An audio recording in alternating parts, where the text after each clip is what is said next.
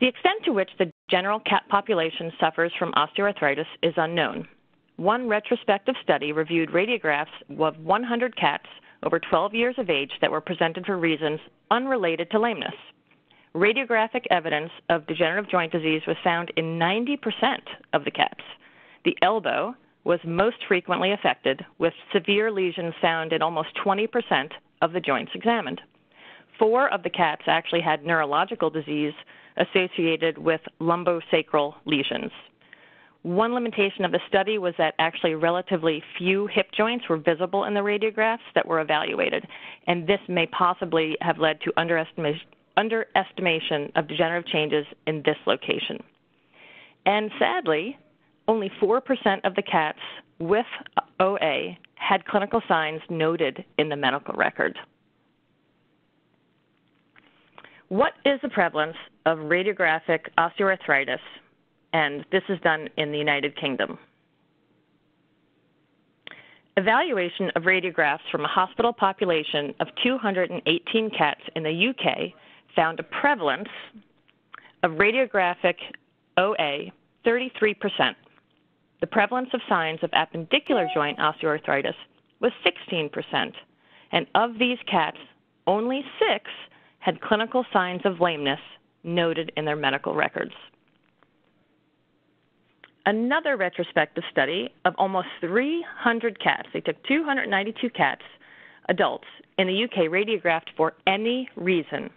They found that 22% had evidence of osteoarthritis. And again, the elbow was also the most commonly affected joint in this study. Of the cats with radiographic OA, 33% had clinical signs. In many cases, there was no evidence of osteoarthritis in the patient's medical record. This suggests that correlation between radiographic and clinical OA is poor or that clinical signs of OA go unobserved by owners or unrecorded by veterinarians. In this uh, study, it was a prospective study in cats of all ages. This was performed by Duncan Lascelles and he found that 91% had radiographic evidence of degenerative joint disease.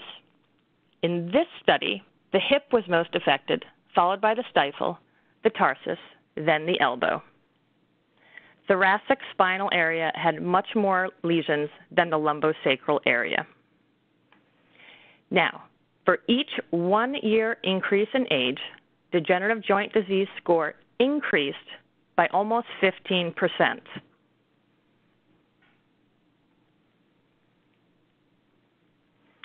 This is another study, a prospective study done in 28 cats. Inclusion criteria for this prospective study were presence of historical evidence and or clinical signs of osteoarthritis together with radiographic evidence of OA. Patients showed clinical improvement within four weeks of being given an analgesic and were free from other disease processes. What are the results? 28 cases were included in the cohort. The elbow accounted for 45% and the hip 38%. These were the most frequently affected joints. 71% of the cases had primary arthritis, uh, primary uh, etiologies. What's important here is alterations in both the ability to jump affected 71% of the cats and actually the height of the jump, almost 70%, were the most frequent signs of disease. And this is going to be important when we come back later and talk about environmental modifications.